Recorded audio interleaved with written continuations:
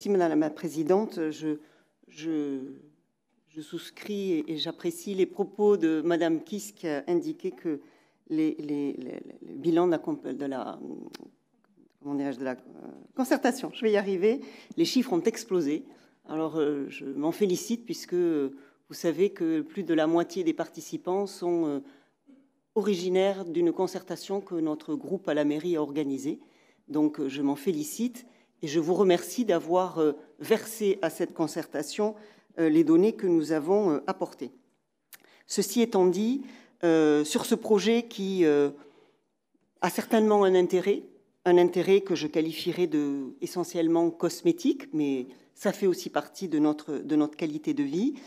Euh, je peux simplement dire que, évidemment, végétaliser un peu plus le, le, le, le quartier a certainement un intérêt. Si on peut apporter quelques îlots de fraîcheur, ça sera évidemment bienvenu.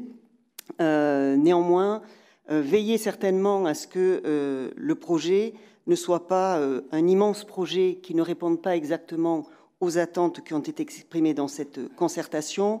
Veiller, par exemple, aussi euh, à ce que la piétonisation euh, qui peut éventuellement euh, s'envisager, pourquoi pas, un peu plus, de manière un peu plus euh, importante qu'aujourd'hui, mais qu'elle ne se fasse pas sur l'ensemble de, euh, la place et que l'on permette quand même un, une circulation à double sens. Ça, ça me paraît des choses qui me paraissent importantes d'avoir en tête et ne pas oublier que selon la façon dont il sera envisagé, on pourrait ne plus avoir d'accès depuis les quais vers le centre-ville ou en sortie euh, du centre-ville vers les quais, euh, autrement que euh, par le cours Victor Hugo ou le cours Xavier Arnozan. Et je crois qu'il faut avoir vraiment en, tête cette cartographie-là avant, avant de, s'avancer sur ce projet.